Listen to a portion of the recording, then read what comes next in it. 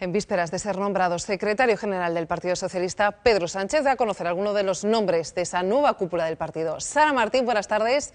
Tú ya sabes quiénes serán algunos de los que van a acompañar a Sánchez a partir de mañana. Dinos quiénes son.